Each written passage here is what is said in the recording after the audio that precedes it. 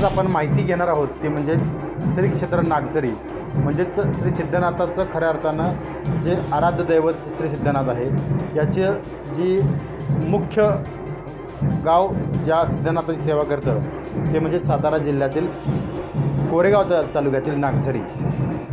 सातारापासून सुमारे चाळीस किलोमीटर अंतर असलेलं हे नागझरी हे गाव.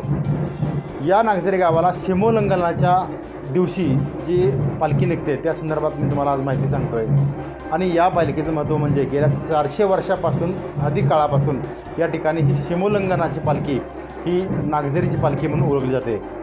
महाराष्ट्रात नव्हे तर देशभरात ही खेळणारी पालखी म्हणून प्रसिद्ध आहे. आत्तापर्यंत तुम्ही पाहि पालखी सोहळा पाहिला असेल तो म्हणजे ज्योतिबाचा श्री पालखी सोहळा पाहिला. मात्र जो नागझरीचा पालखी सोहळा आहे तो एक आगळा आणि वेगळा आहे. या पालखी सोहळ्याचं वैशिष्ट्य असं आहे की सुमारे दहा साडे दहा वाजता म्हणजेच विजयादशमीच्या दिवशी रात्री ही हा पालखी सोहळा खऱ्या अर्थानं सुरुवात होतो.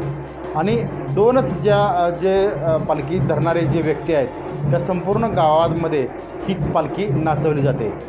साडे दहा वाजता सुरू होणारी पालखी ही पहाटे जवळजवळ सहा वाजेपर्यंत पा नाचते. आणि यामध्ये श्री सिद्धनाथाच्या या देवस्थानाबद्दल आपण माहिती करून घेऊया. श्री सिद्धनाथाचं हे देवस्थान जे आहे ते जागृत देवस्थान म्हणून प्रसिद्ध आहे.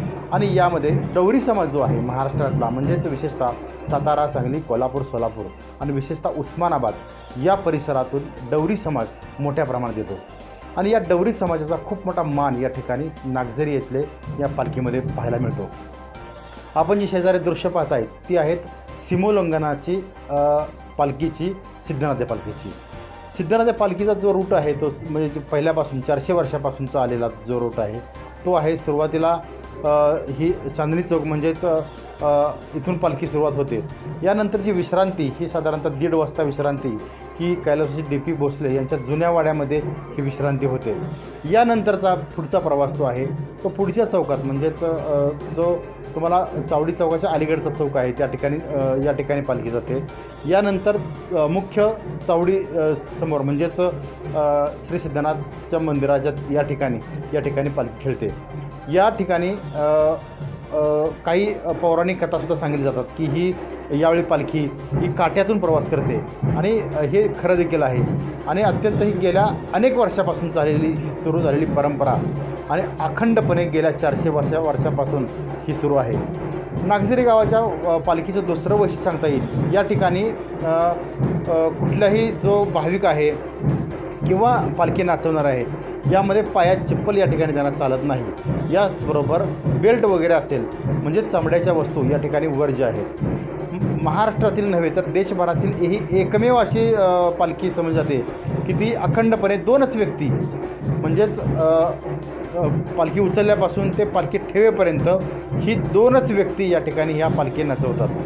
तिसरं वैशिष्ट्य असं आहे की या ठिकाणी डवरी समाज याचबरोबर या ठिकाणचा नागझरी आणि परिसरातील मोठ्या प्रमाणात या ठिकाणी भाविक या ठिकाणी सामील होतात.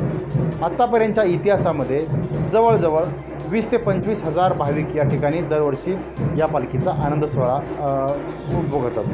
दुसरा मुद्दा असा आहे की या पालखीचं वैशिष्ट्य असं आहे की नवसाला पावणारा हा सिद्धनाथ हा अत्यंत जागृत देवस्थान म्हणून राज्यभर प्रसिद्ध आहे. याचबरोबर या ठिकाणी ज्या पाच ज्या भावकी आहेत अ, या ठिकाणच्या भावक्यांच्या लोकांना या ठिकाणी मान दिला जातो म्हणजेच पालखी धरण्यासाठी.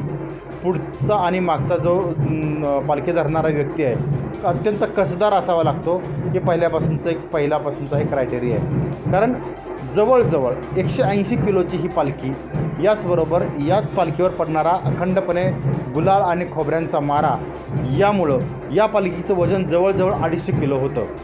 यामुळं हे जे खांदेकरी जे आपण म्हणतो हे अत्यंत कसलेले सुद्धा असावेत हा एक क्रायटेरिया या ठिकाणी आहे. दुसरा या ठिकाणी अनेक व्यक्तींना या ठिकाणी मान दिलेला आहे. डवरी समाज असेल किंवा इतर जे वेगळे वेगळे जे जाधव समाज आहे या ठिकाणी खूप मोठा या ठिकाणी मान या ठिकाणी दिला गेलेला आहे. आणि डवरी समाजाचं एक आराध्य दैवत म्हणून हे सिद्धनाथ प्रसिद्ध आहे.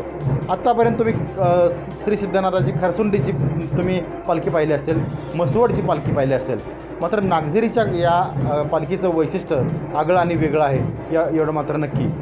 ही परंपरा गेली अनेक वर्षापासून ज्या पद्धतीनं चारशे वर्षाचा इतिहास असा सांगितला जातो.